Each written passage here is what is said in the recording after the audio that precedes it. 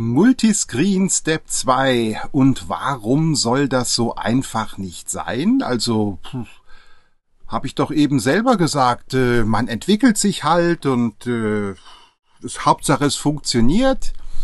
Ja, aber hier müssen wir jetzt doch wirklich etwas tiefer ausholen. Und wir müssen über den View Lifecycle reden und wir müssen über Initialisierer und vor allen Dingen Deinitialisierer auch mal ein Wörtchen reden. Um jetzt zwischen unserem, ja, um auch mal auf unseren neuen View Controller irgendwie dem Orangen hier programmatisch irgendwie zugreifen zu können, brauchen wir eine Klasse. Eine Klasse, die wir hier diesem orangen View Controller hinterlegen, genau wie ja bei dem ersten View Controller Apple schon diese Klasse hier mitbringt. Nun ja, ist gar kein großes Problem. Wir gehen in unser Projekt, rechte Maustaste, New File, was darf's denn sein? Wir hätten gerne eine Cocoa Touch Class weil alles, was UIKit auf dem iPhone ist, ist Cocoa Touch. Ja, hat halt Apple so genannt. Kann ich ja auch nichts dafür.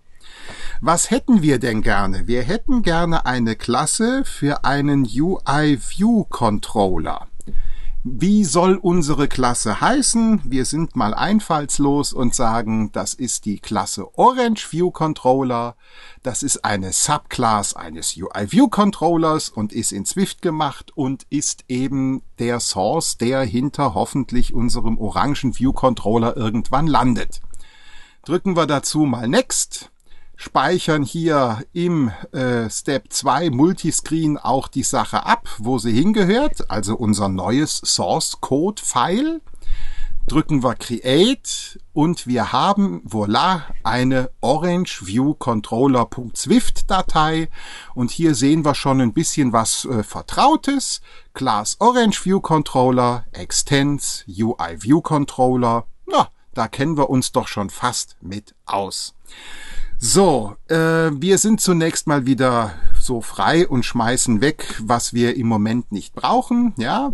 Und in dem anderen Beispiel schreibt Apple das so, ohne Leerzeile, ist ja auch egal.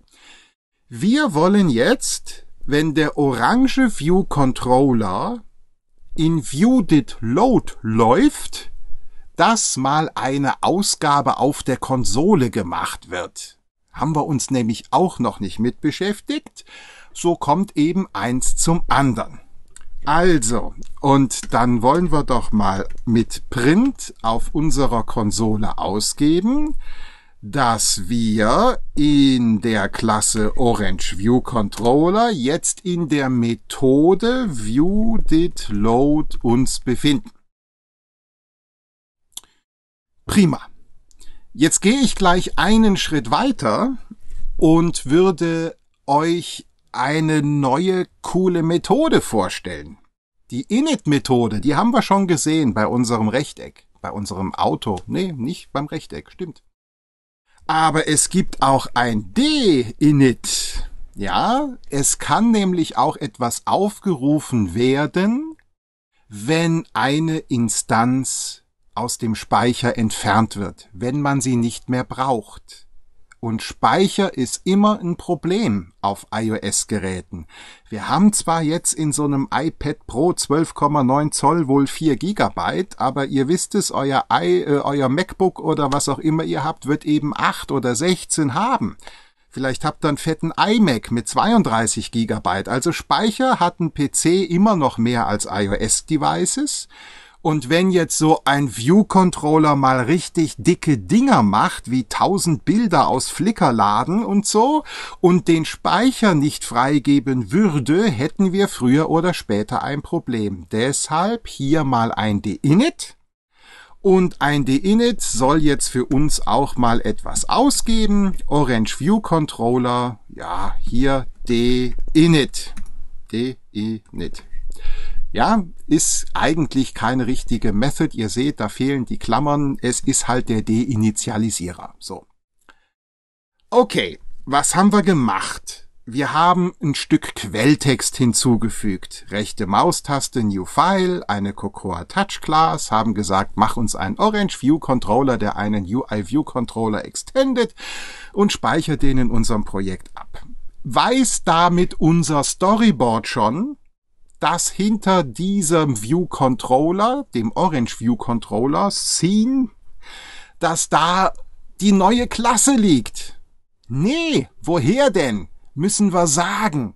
Wie sagen wir das? Mit dem Identity Inspector, genau. Also wir klicken unseren View Controller hier an, gehen auf den Identity Inspector und sagen, liebe View Controllers ziehen, hinter dir liegt die Klasse Orange View Controller.